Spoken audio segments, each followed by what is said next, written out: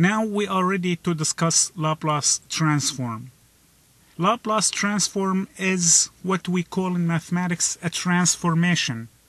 Laplace transform transforms the signal from the time domain to a new domain that is called the complex frequency domain or the S domain.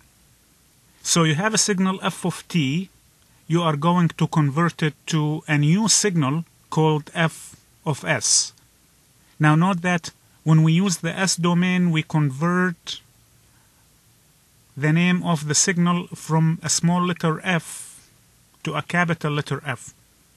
This is very much standard in most textbooks. Not all textbooks will follow it, but most textbooks will follow this convention.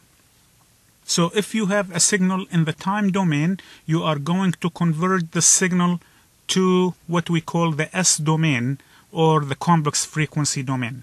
Under some conditions, this is called one-to-one mapping, which means each signal in f of t will have one equivalent signal in f of s.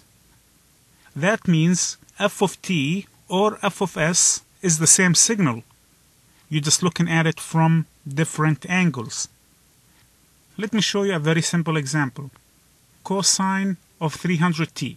If we look at this signal in the frequency domain, then all what I have to tell you that is the frequency is 300 radian per second. The information about the frequency is enough to tell us that how is the cosine function look like. All what I need to know about this cosine function is the frequency. Basically, if I told you what's the time content of the signal or the frequency content of the signal, it is the same thing. Basically, what Laplace transform says, Laplace transform says that I can look at the signal as a function of time, f of t, or I can look at the signal as a function of frequency, which is f of s. Now, s as a variable, as a domain, as a variable, is complex frequency. That means it's a complex value. That means it has real part and imaginary part. S will equal to sigma plus j omega. Sigma is the real part and omega is the imaginary part. Now, there is a physical interpretation of sigma and omega. I'm not going to go in it in details, but I will go over it quick. Sigma tells you how fast the exponential portion of the signal is dropping. Its unit is neper. And omega tells you what's the oscillation frequency is. I'm not going to go over it in details. You can go to references in the literature to know about S. But S will tell you how fast the signal is dropping and what's the oscillation frequency is. So to get the Laplace transform of f of t, we use this notation. We use script L bracket f of t. That means get me the Laplace transform of f of t. So the Laplace transform of f of t will equal to capital F of s.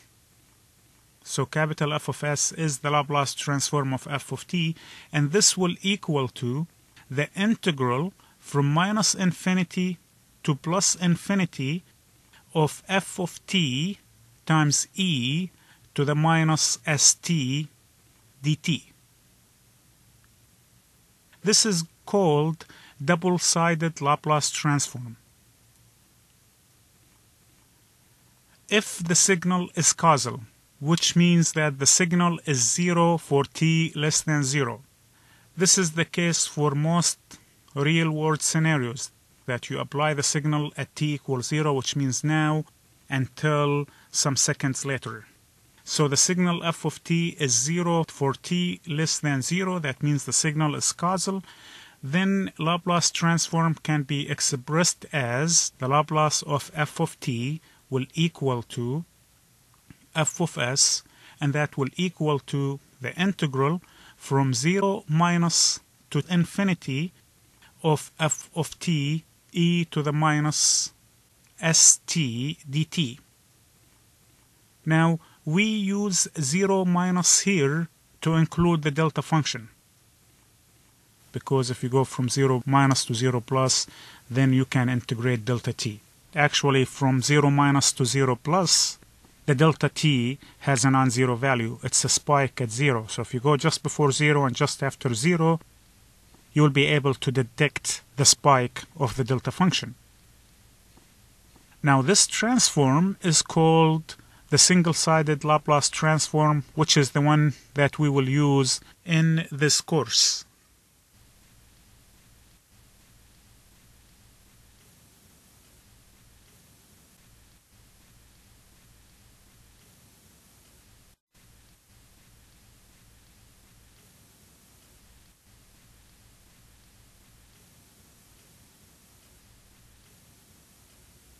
Now we would like to do a numerical example to find the Laplace transform of a function using the definition.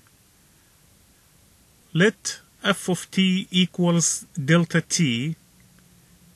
Find its Laplace transform f of s.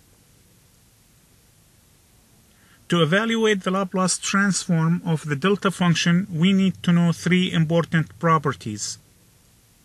The first one is if we multiply the delta t by a function, let's say that g of t, then this will equal to delta t times g at 0. So let me show you that graphically. So if we plot g of t